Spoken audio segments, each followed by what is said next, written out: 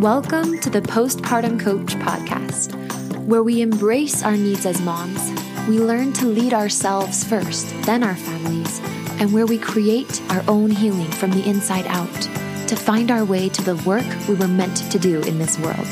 I'm your host, a fellow mom of three and a certified life coach, Lizzie Langston.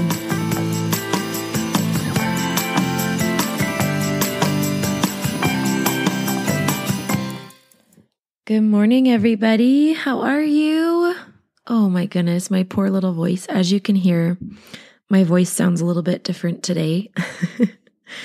I've been nursing my son back to health, and then my daughter got what he has, and now I have it. Gratefully, a lot lighter version. So, anyway, he gets bronchiolitis about once a year. And um, living in Arizona doesn't help it because it's dusty and dry here. So, we are on it though, getting it taken care of little by little, but it's been a little rough over here, as my voice denotes for you.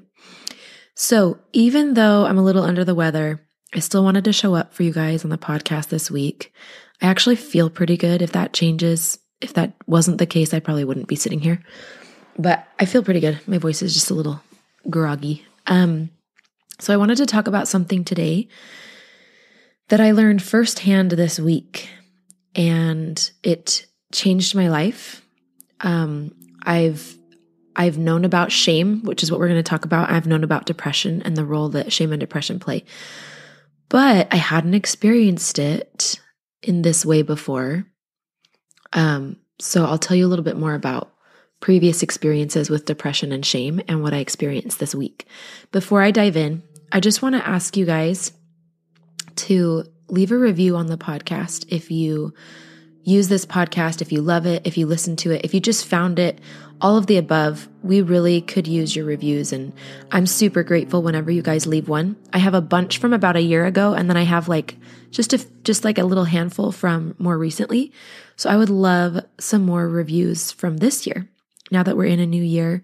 So if you don't mind, just go to Apple Podcasts. I would be so grateful. That just helps people find this amazing resource and helps me out as well in my business. So yeah, leave me a review, a written review with some stars. That'd be awesome. Um, last note of business before we dive in today. Uh, my group starts on Monday, March 14th, which is in just a few days. So today is Thursday, March 10th. We are in the year 2022 for those listening later.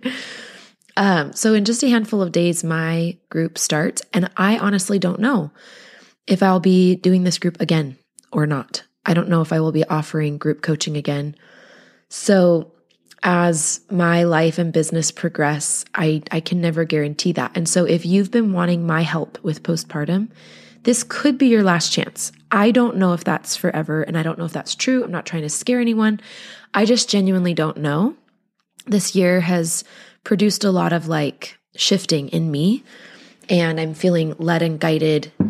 Um, and I just I can't tell you what will come after this group. So, um, please join if if you want my help with postpartum anxiety, depression, birth trauma. If you've ever felt like you've wanted to work with me in the mental health space, if you want to learn with me, um, even if you're a provider yourself of some sort, if you've just felt drawn to me, like I said, this could be your last chance in this capacity. So definitely join us. Here's how you can join that group there's two ways. You can come to the free call that's tonight.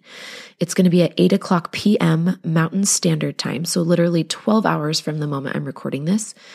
And you can register for that at the link in my Instagram bio. So I'm just at Lizzie Langston. If you click the link in my bio and go down to the very last green button, it says register for the group coaching call, info call. So there's where you can register. It's a Zoom call. You'll get an email with a link and come chat with us. So at eight o'clock tonight, we're going to be, as long as I don't feel like crud, we're going to be talking about um, birth trauma, anxiety, uh, trauma in general, depression, and also, most importantly, the 12 week program, how you can join information about that. The other thing you can do if you're interested in the group, I don't know how many spots are left, but you can try booking a free consult with me. You can go to lizzielangston.com forward slash consult, and I have 30 minute sp- slots open, 30 minute spots open for you guys. If you have any questions and you want to just talk to me about this group, you want to tell me what's been going on for you, and we can talk a little bit more about you and your needs and the group. Um, those are limited, so if you want to join us starting Monday, you better hop in and get get one of those. If there's no spots that work for you, just email me or come to the info call. My email is just lizzie at lizzieLangston.com. I have thought about possibly opening a few more spots either Friday night or Saturday morning for those who might be interested. So we can make a way for you, but you got to act now. So get in there if that's something you're interested in. All right, last but not least, we're going to read a review and then we will dive into shame. Shame is so, so important to understand, you guys. It almost took me down. Shame is different from depression. And if you're not aware of the role that shame is playing when you're dealing with mental health stuff, you are at a supreme disadvantage and you are at a risk to shame. Shame can be very dangerous. So please tune in and listen to this episode. I'm going to read uh, a review from Advocate BLM25. It's a five star review. She said, So thankful for this podcast. My baby just turned eight months old, and I originally found this podcast by searching for terms like postpartum weight loss and came across Lizzie's podcast episode that taught me about how it's so much more than diet and exercise, but a mindset and a space I need to be in. I took so much from that episode and subscribed right after, and have since learned that I have been dealing with postpartum anxiety without knowing that's what it was. I recognized feelings and thought processes I've never experienced or dealt with before. But it was this podcast that helped me realize realize that I was suffering from postpartum anxiety and that I'm not a crazy first-time mom worrying over quote silly things that would never happen unquote as I was told by friends and family. dot dot dot. This podcast has been a safe space and resource for me on my morning drives to work, and I am just so thankful for it. Thank you so much, Advocate BLM25, for sharing that. Um, I also have had friends and family, like in a very well meaning way, tell me things that were super not helpful. I see a pattern there. I hear about that a lot. So it's going to take more than talking to friends and family typically to figure these things out. And so if you sense that, you know, your husband and your mother in law and your mom and your dad and your dad, father in law, and whoever else you got in your corner, your best friend, that even though they love you, they just don't understand or what they're telling you is not really helping. Get in the group coaching program. Don't wait. And also, you know, changing your mental health is not like a simple thing sometimes. Sometimes it takes rerouting the way you think and reprogramming your brain and reevaluating your life and how you do life and how you advocate for yourself day to day. And so just like, you know, if you're living in an apartment and you want to live in a house, you got to save up money. You got to know how much the down payment's got to be. You got to make plans. It's like sometimes a whole year that it really takes to really shift to being a homeowner, sometimes more. Same thing with your mental health. And I hate to disappoint you if that's not what you were hoping for. But sometimes redoing your mental health is a project that takes focus, takes money, takes reworking the budget. It takes energy and time. It takes saying no to unsolicited advice from friends and family and, and passing on it and not really taking it to heart or not even listening to it, removing yourself. It sometimes it takes totally reworking your marriage and saying, Hey, I don't actually feel safe with you when you talk to me like this or when you respond this way. That's not safe for me. You know, there's just a ton of t- changes that kind of sometimes need to happen. So go to lizzieLangston.com forward slash consult and chat with me about what changes need to take place for you. All right, let's talk about shame. So here is what happened recently. I want to give you the DL. Now that I'm not in the shame, I don't feel sad or shameful sharing it. There was a moment where I wanted to hide from all of this community and my Instagram and all the things, my clients even. There was a time because um, when we moved back from Costa Rica, and even before we moved back, I was experiencing depression and anxiety, depressiveness. I like to say depressiveness just because it's just not so final and like not so tied to my identity. So if you ever notice me saying depressiveness, that's why. It just feels a little bit more transient, like I'm in depressiveness, but then I'm not depressive, you know? Anyway, so um, after many, many, much time spent with depression, I like to use that word depressiveness. So here's kind of how it happened. And I want to share this because, like the um, podcast review that I read said, a lot of women, a lot of you guys aren't really aware that you're actually in depressiveness or you're in anxiety postpartum because they're new. And we've, some of us have never experienced those at all before, or we've never even seen them firsthand or both.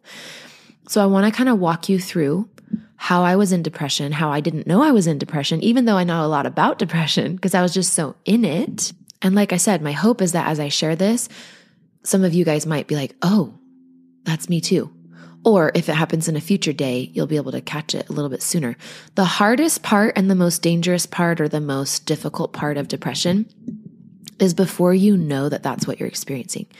Now, once you know there's some other difficult parts that we're going to talk about, which is where, you know, your identity, you have like an identity crisis because you don't usually identify as a depressive person and you feel all sorts of shame because your energy levels are different or your patience with your kids is different. And so there's some facilitating that we have to learn to do once we know we have depression. So there's definitely hard once you figure out that that's what you're experiencing. And the same thing goes for anxiety. So you can use depression and anxiety interchangeably. When I when I'm saying these words, if you're more anxious than depressed, just substitute the word depression for anxiety for yourself. And frankly, any diagnosis really. But yeah, let's talk about how this happened for me. So, the first thing I'll say is life just felt really hard. And it was like so hard that I kept thinking like multiple times a week, I was like, this is just so difficult. Like, why is it so difficult? And then you keep going, you know? And I think a lot of that happens too postpartum. That's just our typical response as humans. Like, all right, well, get back in it. Like, it'll pass. You know, you keep going. Um, so that's one thing to look for is if you're just like, this just feels like it's so hard. I remember postpartum, um, waking up like it, I was nursing for like 45 minutes at a time, or sometimes like two or three hours of trying to nurse in the middle of the night with my brand new baby. It was my first baby. And I just like mentioned that in passing to my sister in law who had three or four kids at that point. And she was like, Whoa, no, no, no, no, no, no, no. She's like, When I wake up and nurse, it's like 15 minutes, maybe 15 minutes on the other side, and we're done tops. And so I was like, what? So when you start telling people, you start to find out a little bit more of what's normal and stuff. So you want to be aware of that. But yeah, if you're just like, this, this cannot be right, how hard this is, that's a good sign. Um, another one is if you're just snapping a lot, you're angry, you're really emotional. Okay. Um, if you notice that you are buffering and like trying to escape life, if your days and nights kind of get mixed up because you're staying up late to binge like a show because the day was just that hard that you just need like an escape. But then you're sleeping in really late and then the morning starts off bad and all of the days just kind of blend like that. That is also depressiveness. It can be. Um, and those that's a signal to you. If you're really like not able to go to bed at an hour that serves you, even though you know that you should, if you're like dangerously playing with staying up late because you need an escape, that dangerous, like risky, kind of risky behavior could be a sign that you're teetering on the edge of like mental health struggles and you might need more support and to really gather your resources. Um, same thing with another risky behavior that kind of comes up with depression is over shopping. This is something I've talked about on the podcast and something that gratefully I feel like I've really been able to rein that in even even in this last batch of depressiveness just because I have experience with seeing myself do that before but um, a lot of women whether it's Amazon and like just buying a ton of stuff on Amazon or um, going to Target or whatever your your d- indulgence of choice is. For me, sometimes it's even just the grocery store, like buying way more than we need of food. So you, what you want it, the pattern here, whether, whether it's shopping or Netflix, the pattern is that it's risky. And really what it is, is it's a, it's a call for attention. Um, and it's also desperation. So part of the struggle in depression specifically and anxiety is you just feel so out of control and you feel so desperate for like happiness And so you will, even if it's kind of risky, like with the budget, or it's risky with um, your health and your sleep and being able to stay up, you know, or wake up in the morning with the kids, the riskiness is there because you're just so desperate. You're pulling beyond the regular bounds of boundaries and like healthy interactions to have what you need, to get what you need emotionally. Another sort of, I would call it risky with like a lowercase r behavior. I remember um, oversharing with total strangers about like what I was going through or like over talking or like being overly social. And again, I don't think there's anything wrong with, you know, if you're at a, if you're at a park and there's other moms and you reach out and say, "Hey, how you doing?" and start a conversation. But if you're if you're feeling like so desperate beyond normal to talk with moms, but you're either totally frozen and not able to or you're kind of like going out of your comfort zone in weird ways to talk to people, that sometimes is another indicator that you're just desperate and really struggling and you're deep, deep, low, low, low.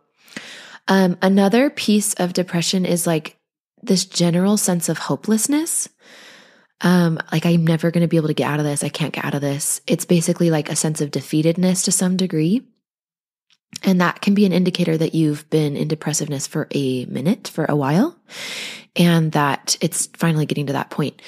Obviously, another indicator is like, again, risky behavior when, when your brain wants to go to suicidal thoughts um, about harming yourself. Also, though, riskiness around wanting to just like hit or punch or throw or do anything to like that to your children.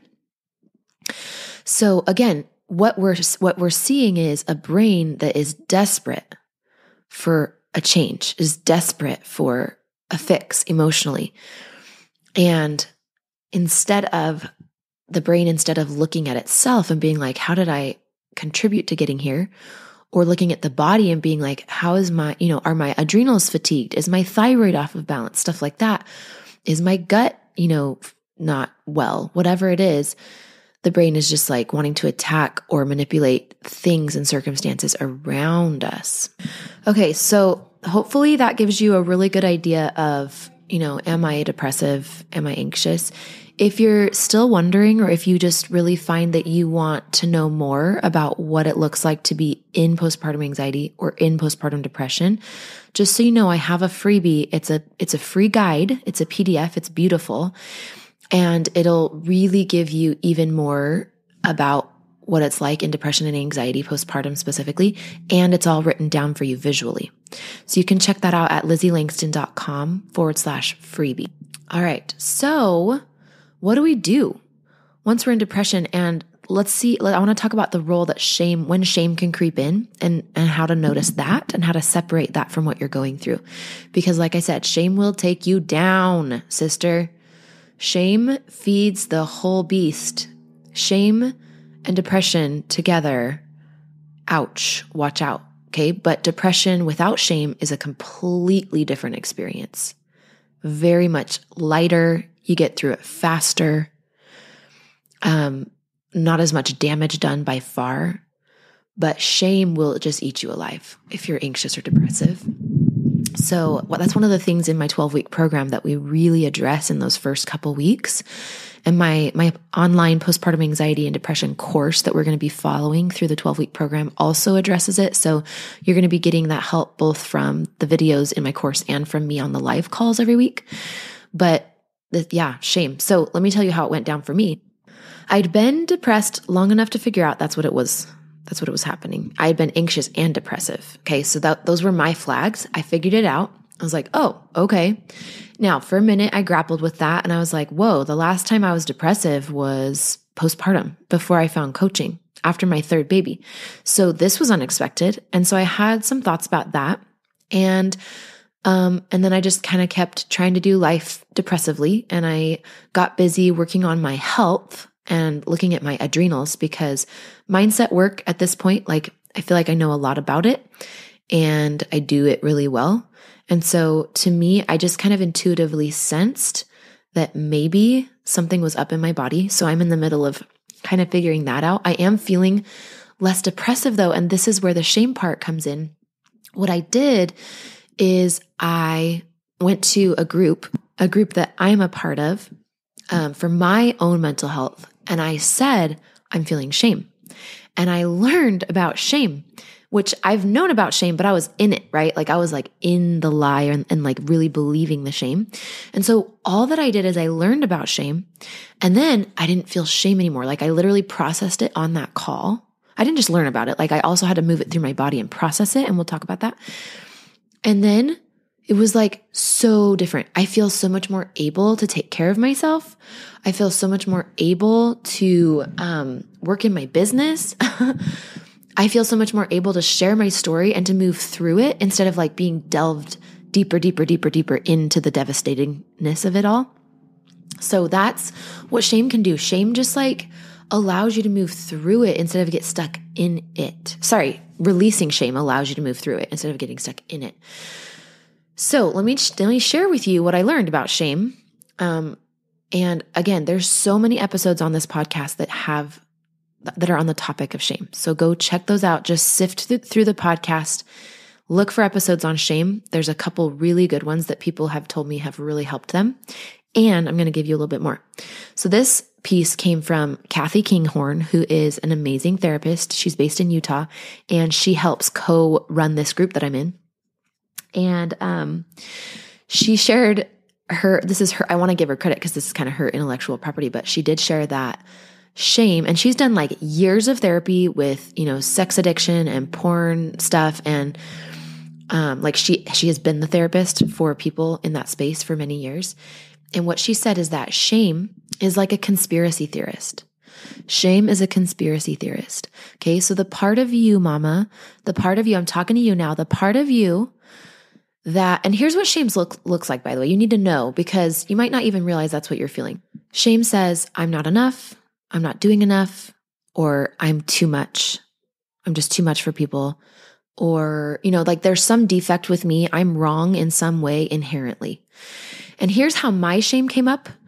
So my shame was like you're a coach on depression and anxiety. So you can't be depressed and anxious. And so i felt like this imposter syndrome for a minute and I also felt this deep shame that made me want to hide and not share or teach or be here in any way, right? To support because I just felt like I don't deserve to coach people if I'm depressive, right? So one of your thoughts could be, I don't deserve to be their mom, or they don't deserve to have a mom like me, da da da da da, right? So shame basically says you either have to be like perfect or without this defect of depression or anxiety postpartum, or you can't be their mom, or or you need to like right like it's basically shame does not let us hold both. Like maybe, for example, with the conspiracy theorists, let's say you theorize that all farmers are bad and they're trying to kill us. And what if you're like, okay, maybe some people in the food industry genuinely don't have people's best interest at heart maybe there are globalists that are trying to actually depopulate through using weapons of, you know, food illnesses or viruses, but also maybe there are people who are trying to protect us and there are people somewhere in between, right? So you see how you can hold both. And that's what gives conspiracy theorists a bad rap is that they're just so into their theory, they can't even see the good too. And so, same thing with shame, right? Shame is the mm-hmm. conspiracy theorist. Shame wants you to see that because of X, Y, or Z thing, right? Because of your symptoms, you are now defected. You're not worthy to show up as a mom. You're not worthy to be the children of your mom. You're not worthy to fit into the motherhood role. And the most dangerous piece, I think, is you're not worthy for help. You're not worthy to share your story. You're not worthy to better the world in any way. And I just want you to hear me loud and clear today that that's not true that you are worthy even when you experience depressiveness for the first time in your life and it totally blindsides you blindsides you. Or even if you experience depressiveness as a coach or a doula or a midwife or a therapist. I'm talking to you therapists because i've had therapists call me on consults and they're like what is happening i'm a therapist you know or coaches all the time what's happening i'm a coach you're a human too and the duality of the human experience, if we can't hold space for that, we're going to get buried into it. It's going to suck us down into the negative. Okay. So the solution here is remember, shame is the conspiracy theor- theorist, like Kathy Kinghorn told me. And you can hold space for both parts of you, for the depressive or the anxious part of you, or the depressive and anxious part of you. And for the amazing kick ass part of you that is so good at being a mom and is so on it. And whether she homeschools or she public schools and she cooks dinners or she buys dinners, it doesn't matter. Like there are both parts of you. And I want you to see both parts of you today. And I want you to know that in my group, yes, I'm going to help you feel less depressive and anxious, but it's not going to be happening through hating yourself and hating those parts of yourself. We are going to accept the symptoms in a way that actually helps them feel lighter and helps us maneuver ourselves through them better and more effectively. That's how we beat depression and anxiety is we accept and we allow. And because we do that, we grow and we thrive and we are more resilient for it the next time it happens. And we are more shame resilient in general, which really boosts your mental health overall. So come join us. The group starts Monday, friends. Book a consult. Um, come to the free call tonight at 8 p.m. You can register in my Instagram bio. And I'll talk to you guys soon. Take care. Hey, Lizzie here. I've helped dozens of postpartum moms just like you to manage their postpartum anxiety and deconstruct their postpartum depression. It's really easy for me. So if you're ready to feel better, I know the way. Let's chat on the phone. Set up a time by going to lizzielangston.com forward slash consult. It's pretty simple, and I will be calling you soon.